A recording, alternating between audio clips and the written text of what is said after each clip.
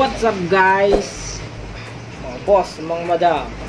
For today's video, bago pala tayo mag-start, uh, shoutout nga pala kay Sir Aldrin. Yung customer ko lagi na nagpupunta dito. No? Uh, doon sa bata na nagtanong sa akin sa Arayat kung nagbablog daw ba ako.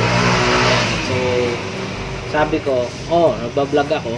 At tinanong niya yung pangalan ko sa, kung ano yung pangalan ng channel ko. Tapos, nung hapon na, nag, nag-comment siya sa isa sa mga video ko. So, kinonfirm niya. So, siya ngayon. Uh, shoutout sa'yo, no? Ayan.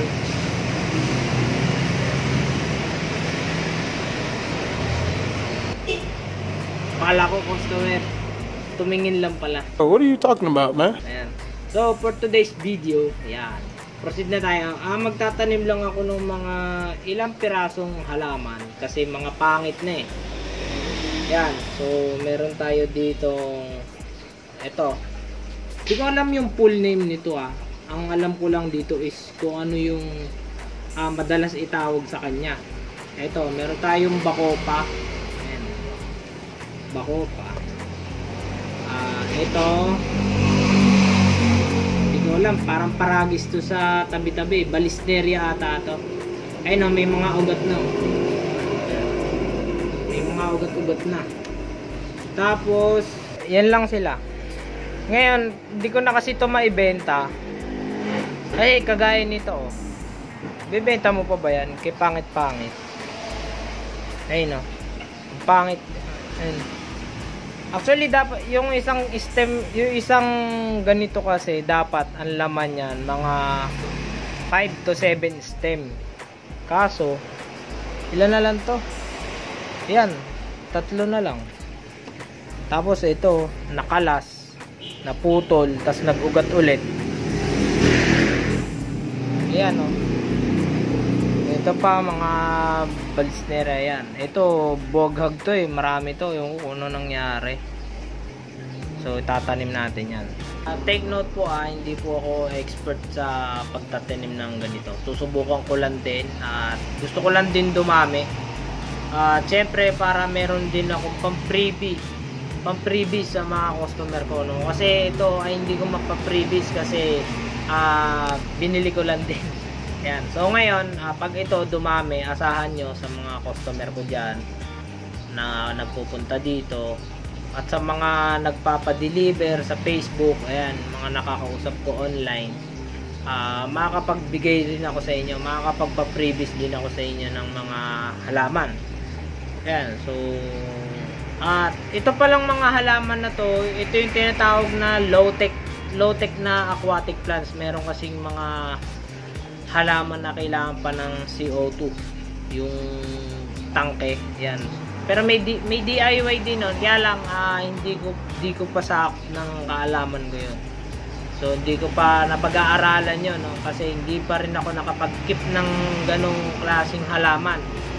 No pero itong low tech, ayan, ito lang kasi yung madalas mabili. Taka mura. Ayan, so papakita ko sa inyo yung lupa na gagamitin ko. Galupan lupa lang talaga yun eh. Let's go. So yan mga boss. Ito yung gagamitin kong lupa. Ayan. Yan. Itong gagamitin ko madami yan. Yeah, so kukuha na lang ako ng balde. Tapos lilipat ko dun sa batya. Yun. Ito gagamitin ko ngayon.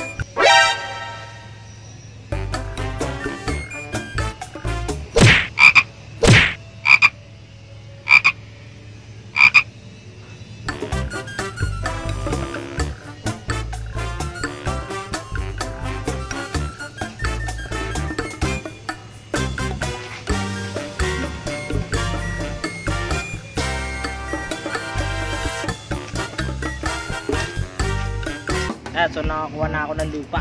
Nadulas pa. Tapos, ah, meron ding palaka doon, kaya nagulat ako. Nakakuha na ako dalawang balde na lupa. Kita nyo naman. Tapos, ah, dito ko siya ilalagay. Yan. So, dyan ko ilalagay. Ayan o. At dyan. Bubuhos na natin.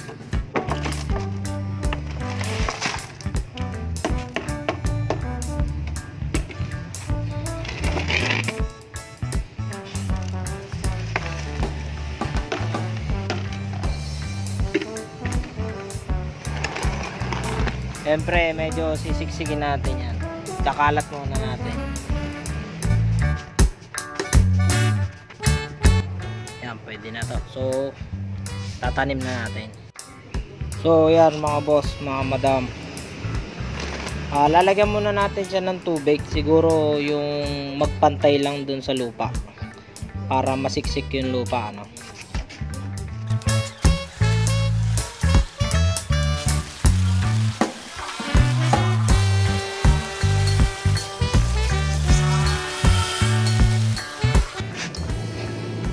So ayan okay na.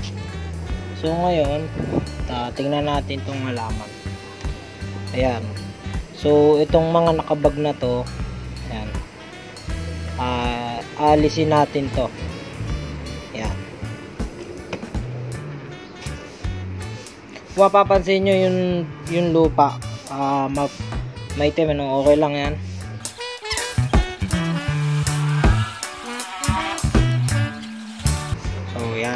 Dahan-dahan lang. Dahan-dahan lang natin to alisin. So ito, ah, dalawang stem to. Hatiin ko siya. Paghihiwalayin ko ng tusok para mabilis dumami. Ayun, oh, katayin nyo naman yung ugat niya. Yan. So puro ganyan lang ang gagawin natin. So mamaya pagka natapos na yung tubig paapawin na natin.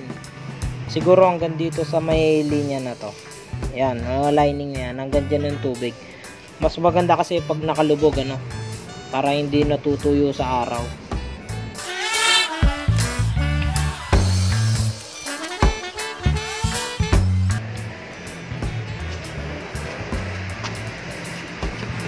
Yan. So wala nang balis na area. Yan lang, bali dalawang bag lang 'yun. Ang natira na lang puro bako pa. Ayan o. Ayan. So tatanggalin ko lahat to sa bag. To, pangit to. Hydrelia. Ayan, pumangit. Ito. Bako pa. Alisin ko muna lahat.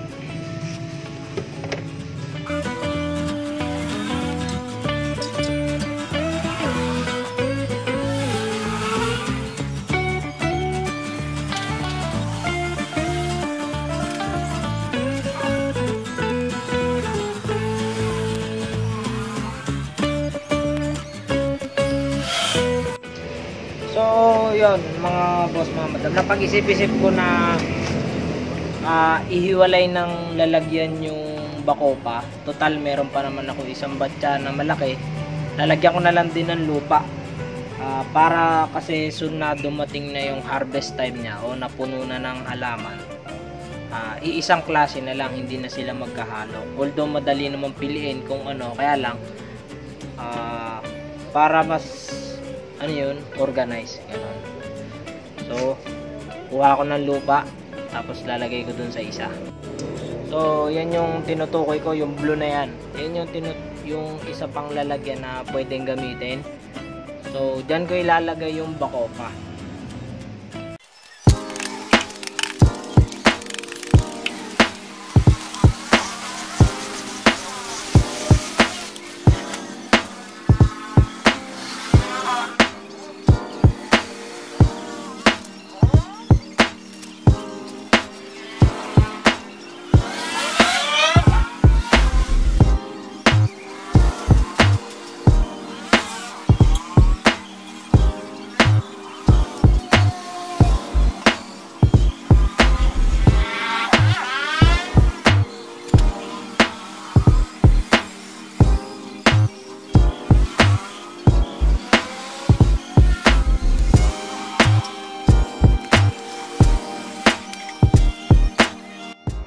So ayan mga boss, mga madam, tapos na. Ayan, nakita nyo, sobrang dami ng balis na area. oh. Meron pang dilumpog.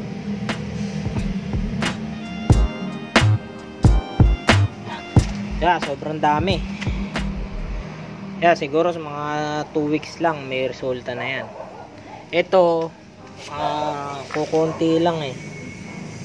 Ayun oh. Pag-iwalayin ko na lang. Paglalayuin ko. Yan, tanyo, sa sobrang liit niyan, halos di na makita. Tapos ito naman yung isa.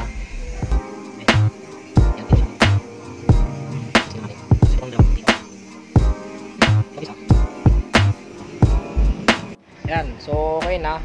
So ililipat ko na lang sila doon. Ayun o. Sa may hagdan. Kasi ah, doon ko to ilalagay sa part na natitirik eh. Doon sa part ng ah, bilad sa araw. Ayan. So dadagdagan ko na rin ng tubig ano.